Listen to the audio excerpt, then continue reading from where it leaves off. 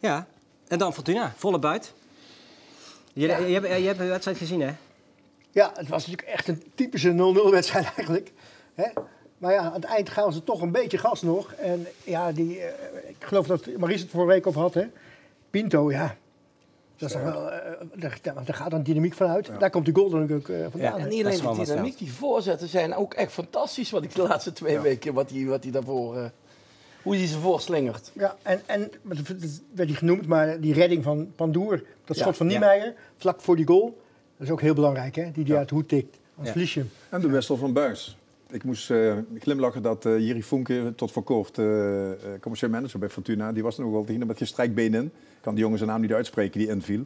Maar Buis legde net daarna piekfijn uit. Hè, dat hij zei, ik wilde eh, meer overweg op het middenveld hebben en daardoor meer gaan afdwingen naar voren toe. Ja. En de binnen de coach heeft natuurlijk gelijk, uiteindelijk. We gaan even naar, naar Buis luisteren, want dit zegt hij over zijn wissel.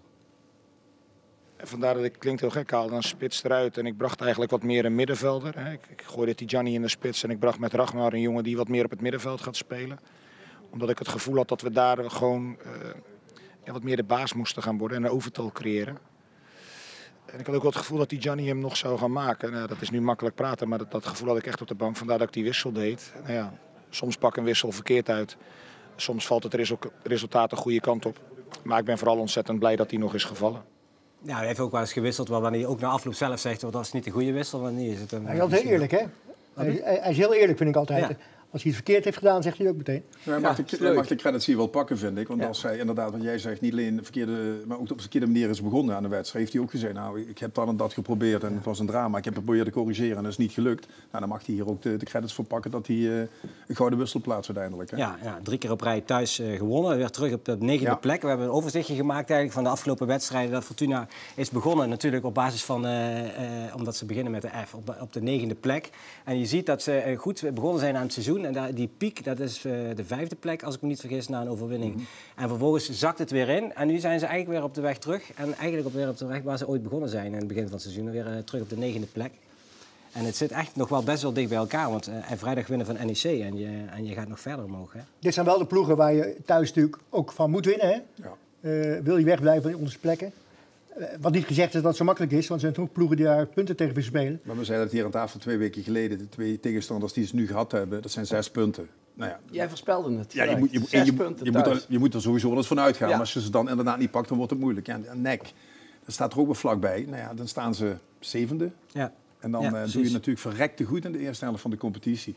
Ja. Ondanks een, een, een streak van eh, vier, vijf wedstrijden wat minder. Maar iedereen heeft dat. Iedereen maakt dat Je mee. doet het goed en er zit nog heel veel rek in, als ik eh, Ja. Danny Buis Ja. mag eh, geloven. Ja. Ja. Dus dan dadelijk met die penalty-specialist eh dan nog Ja, bij. ze hebben toch eh Tessa Wullaert, die schiet ze allemaal erin bij de vrouwen, die penalties. Zou dat mogen? Kun je die niet even over Ja, laten Dat mag nog niet, hè, dames bij het uh, beherenvoetbal. Nee, precies. En de trainer hebben we ook nog niet gezien. Hè? Dat is ook een hele Nee, discussie. wat de hoogtijd zijn we nooit donker, geloof Ja, ik. Maar even de eerste seizoenshelft hebben we is nog niet helemaal voorbij. Maar ze spelen nog tegen NEC uit en ook nog een wedstrijd in de beker tegen Eindhoven. Maar eh, hoe kijk je daarop terug? Hebben ze, het- hebben ze het goed gedaan, Fortuna? Eh, wisselvallig, zoals al die ploegen daar in die, eh, die groep, hè? Dat is echt stuivertje wisselen de hele tijd. Maar ze hebben de wedstrijd die ze moesten winnen, hè? hebben ze gewonnen. Ja. Eh, uit is het dan Ja, een maar stuk als je, minder. als je daar nou staat, en zoals ik al zei, er zit nog heel veel rek in, dan denk ik dat je met een heel goed gevoel die winterstop in Ja. gaat. En dat je. Kijk, zo, zo- hoe sneller je uit de problemen bent, dat je niet, niet meer naar onder hoeft te kijken, hoe lekkerder. Hè? Dan kun je echt vrij uitgaan. Ja, voetbal. precies. Nou, hij, hij is normaal altijd na een wedstrijd altijd blijvend kritisch. Maar in dit, keer- in dit geval toch ook complimenten voor zijn eigen ploeg. Maar ik ben sowieso wel tevreden als ik gewoon kijk over deze langere periode. Hoe, hoe, hoe wij tot nu toe gespeeld hebben met de intenties. En kunnen dingen beter, absoluut. En daar zijn we ook hard mee bezig. Maar we moeten ook accepteren dat dat er soms niet uitkomt. Ook al trainen we daar wel eh, heel de week op. Nee, maar ik ben qua thuiswedstrijden ontzettend tevreden. Qua uitwedstrijden vind ik, ja, hadden we er wel al een keer ergens één moeten winnen eigenlijk. We hebben ook een zwaar programma gehad uit, hè, zeker met een aantal topclubs. Oké, dan moeten we dat in de komende maanden uit gaan winnen. Want dan verzilver je echt je enorme ja, serie die je thuis aan het neerzetten bent. Als je dat weet vasthouden en het lukt je om uit ook eens af en toe een wedstrijd te winnen, ja, dan gaat het leuk worden. Ja, ja Europa in. Waarom niet? Bas.